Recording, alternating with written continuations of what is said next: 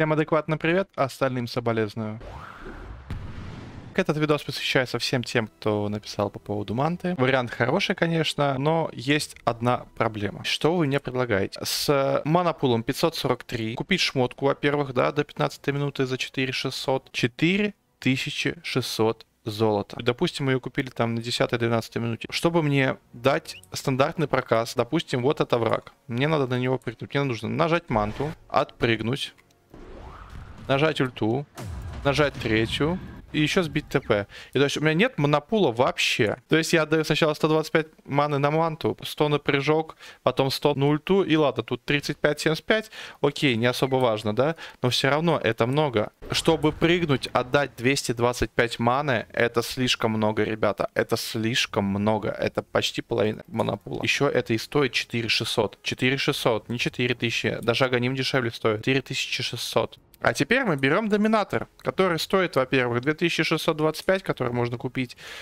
при лучшем раскладе это шестая, седьмая, худший расклад та же самая, да, если вас жестко загнобили на линии, десятая, двенадцатая минута. И чтобы прыгнуть, мне нужно только 100 маны. И помимо всего, в зависимости от крипа, я трачу монопул крипа. То есть я могу закинуть шоквейв за 100 маны на 160 урона, что мне поможет как при убийстве героя, так и при фарме леса. У Агра вообще нет маны, то есть он просто бьет в АУЕ, что тоже поможет при фарме кемпов. Что Урса тоже тратит свой монопул, клепает.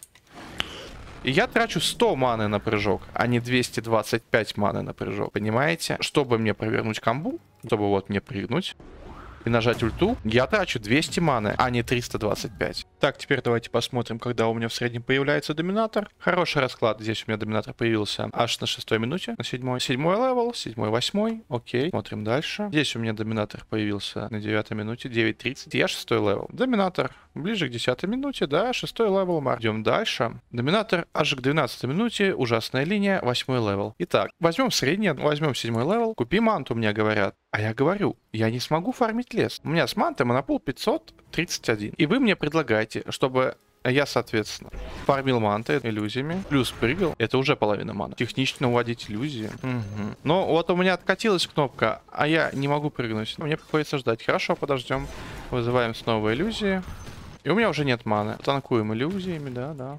Все, маны нет. Э, за 4000, как я уже и говорил, чтобы мне прыгнуть, нужно потратить 225 маны.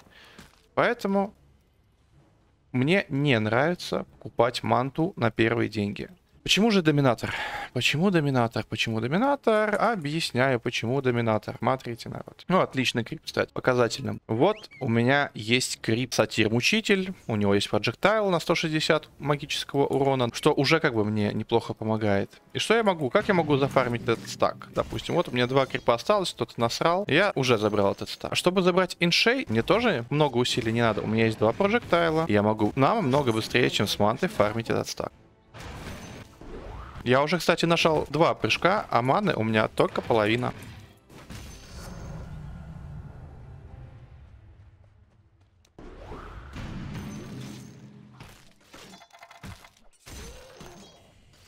Я уже нажал три прыжка. И манту перепризывать не нужно. Я даже не трачу маны, чтобы призвать крипа. Я ухожу с этого спота, зафармил три спота. Хорошо, два с половиной спота. И у меня осталось половина маны. Чуть меньше половины маны. То есть как я буду фармить, если у меня не будет маны?